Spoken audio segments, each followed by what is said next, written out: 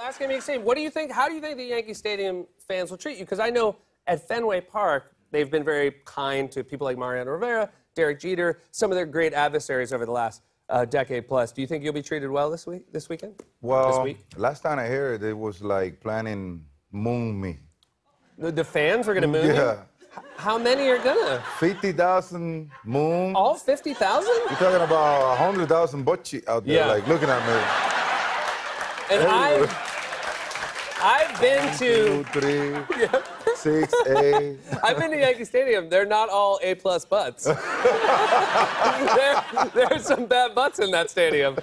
Uh, and but this is very nice. Uh, uh, they have they're putting out uh, the show, the video game, uh, the show on PlayStation. This is a, I mean, obviously you've never seen this before. This is a half Red Sox and half Yankees controller in honor of you. That's pretty great. A lot of fight. A lot of fight. Yeah. Um, what is your? Do you have a, a favorite memory here at the end? Well, you know, always play now. Sorry. I have. Uh, here's the thing. I've been working on that sneeze for like 10 minutes, and I almost made it. Almost. it's always. Favorite uh, memory, other than me sneezing on you. Well, well, you know, you remember what happened in 2003, right? I was there. I was at that game when Aaron Boone hit that home run. Did you Eric came in 2004? I well, here's the thing, and tell me if because I know you get a lot of credit for 2004. So I went to Game One. Uh, you guys lost. I went to Game Three at Fenway. You lost 19 to eight. I had tickets to Game Four, the famous Game Four. I didn't go.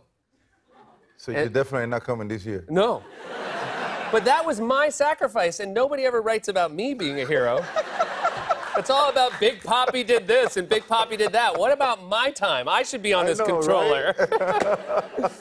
um, it is. Uh, it really is. I again, I'm. Uh, I'm a little embarrassed to say this, but it's also very true. The 2004 Red Sox, the most important team in my life, made me be able to like be a human being and stop watching every second of every baseball game in my life. And also live in New York, right? And also live in New York. I could finally live in New York without people yelling at me. Uh, Thank you so much for being here. Congratulations on a great last Thank you season. for having me. Big Papi, everybody.